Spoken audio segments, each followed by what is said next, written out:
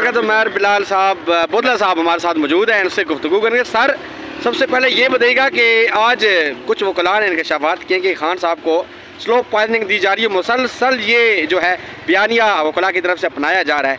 क्या कहना चाहेंगे? इस बात में कोई सदाकत है? मैं एक्चुअली ये वाली बात सुनी भी नहीं, और वैसे भी इंतहाई एहसास चीज़ है तो इसलिए इस पर नो कमेंट से कहूँगा। कि कुछ ऐसी चीज़ें हैं जो पार्टी के अगर वकला कह रहे हैं तो उनको बेहतर पता होगा मुझे अंदाज़ा नहीं है। भला आज खान साहब से वकला कुछ मिले भी हैं और खान साहब की अगर हालत के बारे में बात करें तो एक दो दो तरह के तरीके अपनाए जा रहे हैं। किसी के लिए मशीन घर पे पहुंचाई जाती है बायोमेट्रिक और किसी के लिए जेलों में भी सहूलियात मैसर नहीं हैं। क्या कहना चाहेंगे? देखिए इसमें तो पूरी कौम को कोई शक नहीं कि खान को सिर्फ़ इस बात की सज़ा दी जा रही है कि वो खड़ा है। और इन्होंने कभी किसी लीडर को वैसे देखा नहीं खड़ा। आज तक इन्होंने सिर्फ़ जो पोलिटिकल लीडर्स हैं, अपने लिए इस्तेमाल किए हैं। अगर पाकिस्तान में अगर किसी ने इनकार किया है कि मैं किसी के हाथ पे नहीं खुलूँगा, मैं इस्तेमाल नहीं होगा मैं सिर्फ़ अपनी आवाम की हकूक़ के लिए लड़ूँगा तो वो इमरान खान है। जब आपसे कोई शख्स टूट ना रहा हो तो आप हर मुमकिन कोशिश करते हैं उसे तोड़ा जाए। अब आपने बाकी लीडर्स को भी, नवाज़ शरीफ वगैरह को भी देखा, जेल काटते हुए मेरा लीडर को भी आप देख रहे हैं। किसी की क्या ख्वाहिश होती है कि जेल में मुझे क्या सहूलतें दीजिए, मेरे लीडर क्या माँगता है इनसे? कुरान सिरत नबी पे किताब और करने के लिए एक्सरसाइज आप लोग गवाएँ मीडिया वाले, इस चीज़ के अलावा खान ने कभी कोई अपने लिए सहूलत नहीं मांगी कि मुझे ये सहूलत दी जाए। खान कहता है कि मैं एक साल रहूँ, मैं दस साल रहूँ, मैं जेल काटूँगा अपनी आवाम की आज़ादी के लिए। और यही हमारा यकीन है और इसी यकीन पर हम आप देख रहे हैं, जेल के बाहर खड़े और इन ताला मेरे खान पे अपने रब करम करेगा और खान बहुत जल्द बाहर आएगा। इन ताला बहुत जल्द बाहर आएगा। अच्छा सर कुछ लोगों की तरफ़ से ये भी कहा जा रहा है कि खान साहब हो सकता है कि डील कर लें। तो आपको लगता है डील करेंगे खान साहब? जो लोग खान को जानते हैं जो लोग खान को नज़रिए को जानते हैं वो सोच भी नहीं सकते।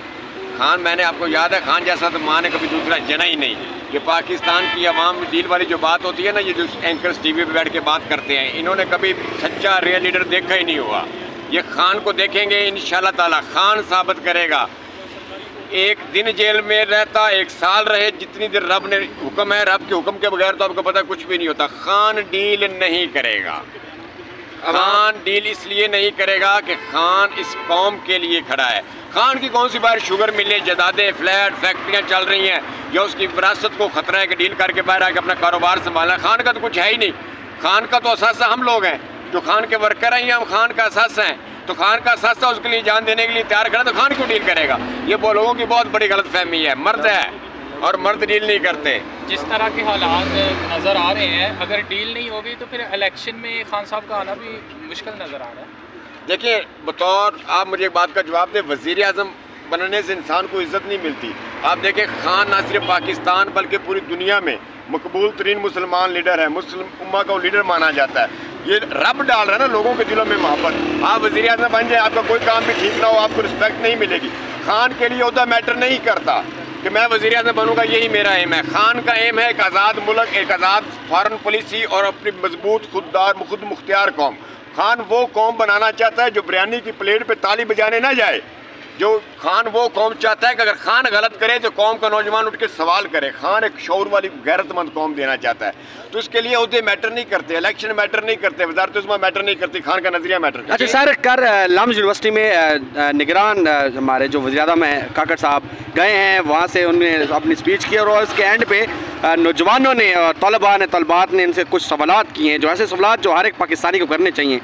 आपने अगर वीडियो देखी तो क्या कहना चाहेंगे उस हवाले से? देखिए यही तो मेरा खान चाहता था कि कौम का पढ़ा लिखा नौजवान अपने हक के लिए खड़ा हो और जो उससे गलत समझे, वो गलत को गलत कहे, सही को सही कहे तो खान कामयाब हो गया। इस कौम का उस्ताद खान को मुर्शद इसलिए तो नहीं कहा, इसलिए तो मुर्शद कहते हैं, खान ने सबक सिखाया है कौम को। ला इलाहा इल्लल्लाह का मतलब आप सब लोग जानते हैं, खान ने बताया है कि अल्लाह ताला कह रहा है, जब मैं हूँ तो किसी से डरना नहीं। जब आपका यकीन अपने रब पे कामल होगा, फिर ही आप किसी से नहीं डरेंगे ना। ये खान किस सबक पे, ये खान ने सिखा दिया इस कौम के नौजवानों को शौर। खान ने वो शौर दे दिया कि अगर तरीके इंसाफ का कोई लीडर कोई गलत बात करेगा तो ये नौजवान उससे भी सवाल कर लेंगे। ये खान का दिया हुआ शौर है। सर, ये एक आखिरी क्वेश्चन है कि बाईस करोड़ आवाम जो जानना चाहती है कि खान साहब जिससे लाखों उम्मीदें हैं लोगों को, इस पाबंद सलासिल हैं कब तक देख रहे हैं खान साहब को बाहर? मैंने थोड़ी देर पहले भी कहा है कि अल्लाह के हुक्म के बगैर तो पता भी नहीं हिल सकता। खान का यकीन भी अपने रब पे है, जितने अतमाद के साथ वो अंदर बैठा है, जितनी बहादरी के साथ वो जेल काट रहा है। हमारे अवाम के अतमाद पे नहीं, वो तो रब के अतमाद पे बैठा है। एक आजमाइश है ना तो मेरा अल्लाह ताला इंशाल्लाह जितनी इस कौम की खान के लिए दुआएँ हैं, खाना काबा के लिए दुआएँ हैं, फ़लस्तीन के मुसलमान इमरान खान को पुकार रहे हैं तो रब मेरा भी तो देख रहा है ना। ये आजमाइश है इन ताला हमारी भी दुआ है कि अल्लाह ताला ये आजमाइश ख़त्म करे। जब मेरे रब का हुक्म हो जाएगा, फिर कोई शख्स उसे अंदर नहीं रख सकेगा। और इन ताला जिस गैरत के साथ उसने गिरफ्तारी दी थी, उसी गैरत के साथ ही वापस आएगा। और आप लोग देखेंगे कि से जमान पार्क तक, वो जो आया ना बाहर इस्तकबाल करवाने बाहर के मुल्क से, मेरा खान यहाँ से निकल ले, फिर हम दिखाएँगे इस्तकबाल कहते किसे हैं। अडयाला से लेके, मैं आपको बता रहा हूँ, अडयाला से लेके जमान पार्क तक, कोई सड़क, कोई जगह ऐसी नहीं होगी जहाँ आवाम नहीं होगी। यही मेरे खान में इंशाल्लाह ताला बहुत जल्द खान बाहर आएगा। वैसे जिस तरह के हालात हैं अगर इन हालात में इलेक्शन होते हैं तो आपको क्या वजी अजम नवाज़ शरीफ नज़र आ रहा है? नवाज़ शरीफ देखे ना नवाज़ शरीफ का वो जो चार एंकर जिनको पैसे दिए वो कहते हैं दीवार पे नवाज़ शरीफ का नाम लिखा गया है बतौर वजी तो वो तो दीवार हम गिरा देंगे जिस पे नाम लिखा हुआ है। खान का नाम दिलों पर लिखा हुआ है। ये सीमेंट बजरी ईंटों पर नवाज़ शरीफ का नाम लिख लें हम गिरा देगी हर दीवार। खान दिल में रहता है। ये दिल कैसे गिनाएँगे? खान बाईस करोड़ आवाम के दिल में रहता है। नवाज़ शरीफ का नाम खंबे पे लिख दो बतौर वजी अजम दीवार पे लिख दो। आवाम खंबा उखाड़ देगी दीवार करा देगी। मज़ा तो तब है ना जिस बाईस करोड़ के दिल में खान बसता है ये दिल कराओ। ये दिल उस वक्त ही करेगा जब जान निकलेगी। जब इलेक्शन के लिए कैंडिडेट्स की भी ज़रूरत है लेकिन सारे कैंडिडेट तो चले गए हैं पीटीआई से। देखें मेरी बात सुने। खान को कोई किसी हल्के में किसी कैंडिडेट की कमी नहीं। मैं डिस्ट्रिक्ट प्रेसिडेंट हूँ मुकाड़ा का। इस हालात में भी मैंने लिस्ट भेजी है। पाँच पाँच नाम है हर हल्के में अभी भी। खान का देखें, एक सोच थी कि पाकिस्तान में सिर्फ़ वही इलेक्शन लड़ सकते हैं जो लैंड लॉर्ड जगीरदार या जिनके बाप, दादा की विरासत है संभली। खान, ये सोच बदल दी है। आप एक बात मेरी कौम को दे दें। पूरे मुल्क में जो मर्ज़ी जिसको खान खड़ा करे, पहली दफ़ा तरीक में होगा, पूरे मुल्क में एक ही शख्स इलेक्शन लड़ रहा है, उसका नाम है इमरान अहमद खान, न्याजी इंतबी निशान बल्ला।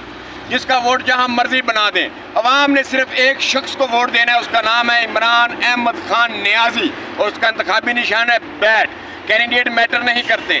बैट मैटर करेगा, इमरान अहमद खान न्याजी मैटर करेगा। मेरा खान, आपको टिकट दे, आप भी जीतोगे।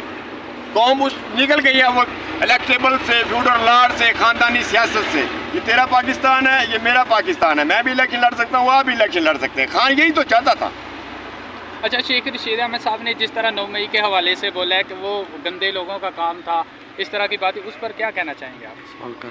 देखिए मैं तो बहुत पहले कह रहा हूँ नौ मई का जो बेनिफिशरी है जिसने नौ मई से फ़ायदा उठाया है उसी ने नौ मई किया है। कोई भी आप अक्रस करेंगे उसके पीछे मोटिव होता है। नौ मई का फ़ायदा इमरान खान ने उठाया है पार्टी बैन पार्टी के बंदे प्रेस कॉन्फ्रेंस किए जा रहे हैं कुछ जेल में पड़े हैं। ये फ़ायदा तो नहीं फ़ायदा तो नवाज़ शरीफ ने उठाया है। ये उन लोगों ने मैनेज किया है। खान को गिराने के लिए उनको कोई ना कोई चीज़ चाहिए थी, उन्होंने उस एहतजाज को मैनेज किया, अपने बंदे भेजे और मैं बरमला कह रहा हूँ, खान को बाहर आ लेने दें। नौ मई की साफ़ शफाफ तहकीकत कर लें। तरीके इंसाफ नौ मई वाले नहीं निकलेंगे। नौ मई वाले कुछ और लोग ही निकलेंगे जो नौ मई की आड़ में यहाँ वज़ीर अजम बनने आ गए हैं। मैं उनको पैगाम देना चाहता हूँ, तुम्हारी भूल है। ना ये वो कौम है ना ये वो कौम रही है जो अब किसी को अपने ऊपर मुसलत होने देगी। अगर कोई ज़बरदस्ती हमारे ऊपर मुसलत करेगा हमें दीवार करानी भी आती है हमें खंभा उखाड़ना भी आता है। बहुत शुक्रिया सर